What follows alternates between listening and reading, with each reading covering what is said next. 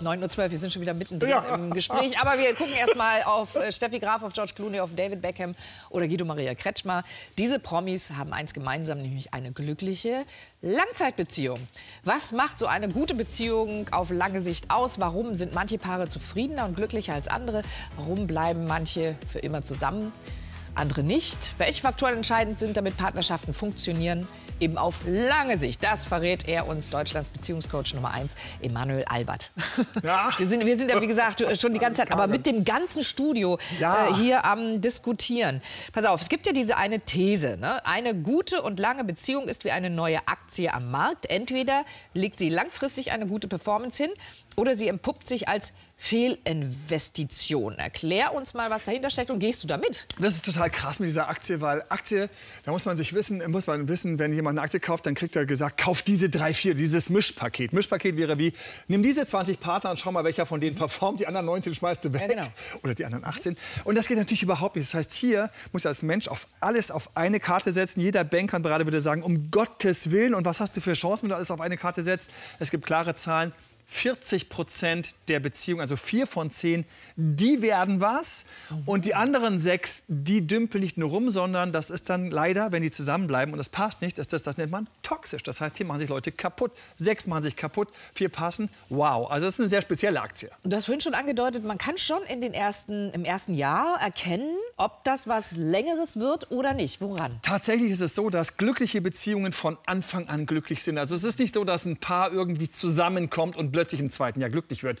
Es gibt Menschen, die befreundet sind und sich über Jahre plötzlich pum und es hat pum Zoom gemacht und zusammenkommen. Aber in einer Beziehung ist das so, gleich am Anfang solltest du ein relativ klares Bauchgefühl haben von Zufriedenheit. Es gibt diese Traumbeziehungen und es sind tatsächlich 4 Prozent und die haben auch von Anfang an eine traumhafte Beziehung. Das finde ich aber ein bisschen tröstlich, muss ich sagen. Ja, also, also einfach, Herrlich. Ja, das ist nur 4 Prozent eh am Ende schaffen, eine langfristige, glückliche Bist Beziehung zu führen. Ja. Pass auf, also okay, darauf kommt es an, dass man ein gutes Gefühl hat miteinander ähm, und nichts äh, also stört. Es, es, ist, am Anfang ist es folgendermaßen. Wir haben ja am Anfang wirklich, das ist, da kann jeder sich mal ganz kurz testen, zu welcher Sorte er auch gehört. Ja. Also es sind mehrere Dinge, die jetzt wichtig sind. Habe ich erstens, komme drei Punkten. Erstens, hast du dieses Bauchgefühl von wow, ist das irgendwie schön. Ich glaube, hier diese Aktie, die wird steigen. Das ist also kein Loser, der in zehn Jahren vielleicht noch mal performen soll. Ich meine, die zehn Jahre sind sowieso weggeschmissen. Wer will denn das? Zweitens, wenn du im Alltag mit der Person bist und die lässt irgendwas liegen, keine Ahnung, du hast die Geschirrmaschine zum Beispiel offen und hast irgendwo noch deine Tasse rumliegen lassen, schon wieder deine Kaffeetasse. Was macht dein Gehirn jetzt? Sagt dein Gehirn, oh, diese Tasse wird die Karen das nie kapieren, ich krieg die Motten. Oder sagt dein hm. Gehirn, die wird genauso busy gewesen. Die wird heute Morgen wieder um 3.50 Uhr.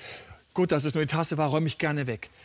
Die mit diesem, mm. mit dem anderen denken, das sind die besseren mm. Beziehungen. Macht Und Sinn. drittens, mm. das ist eine Sache, die finde ich total schlimm. Habe ich die Lotterie gewonnen? Habe ich die Lotterie gewonnen? Was ist das? Ich komme mit jemandem zusammen und dann stellt sich heraus, wir haben heimlich viele Ähnlichkeiten. Diese Statistik knallt voll.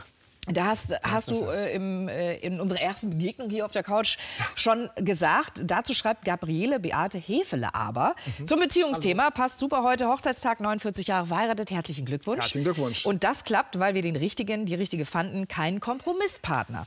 Außerdem, da hat ihr Coach, ne, nicht recht. Wir sind total verschieden, auch beruflich. Da profitiert aber jeder vom anderen und anderen Gesichtsweisen und Talenten. Das hält jung und flexibel, sagt sie. Wichtig, im Grundsätzlichen einig sein, was Treue betrifft, Politik, Doppelbadewanne einbauen und jeder hat seine eigene Zahnpasta. Aha. So, und da sind wir dort. Also erstmal Gratulation auch von ganzem Herzen. 49 Jahre, das musst du erstmal schaffen. Sie gehören offensichtlich zu der Aktiensorte. Zu den 4 Prozent? Ja, vielleicht sogar zu den 4 Prozent. Vielleicht zu 40, genau, ähm, die schon steuer gestartet sind. Was hier rauskommt, ist, natürlich bin ich verschieden. Ja?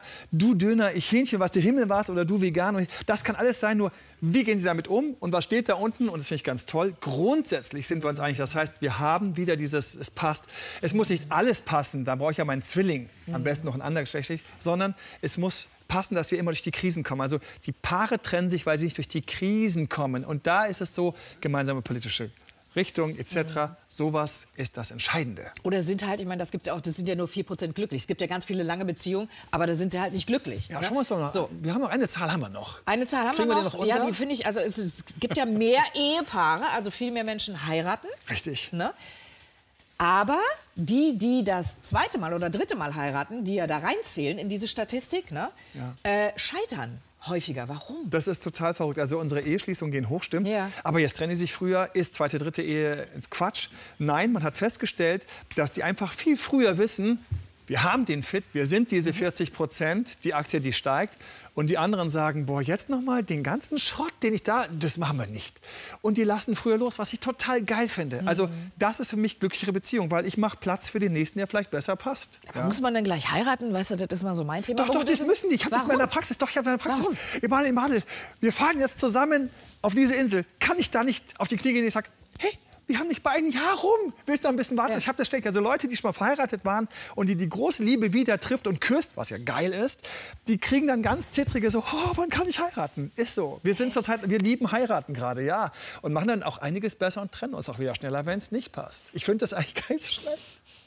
Naja gut, okay, da ja. musst du mich noch überzeugen. Ich mache kurz eine Trinkpause und habe einen Tipp für euch. Ihr könnt nicht genug von uns kriegen, was ich verstehen kann, oder von unseren Beiträgen. Dann könnt ihr die hier gucken. Oder ihr abonniert einfach unseren Kanal. Oder könnt noch am allerbesten links unten klicken oder rechts, wie auch immer, alle unsere Folgen auf Join. Frühstücksfernsehen immer und überall. Könnt ihr alle Highlights nochmal nachgucken. Prost.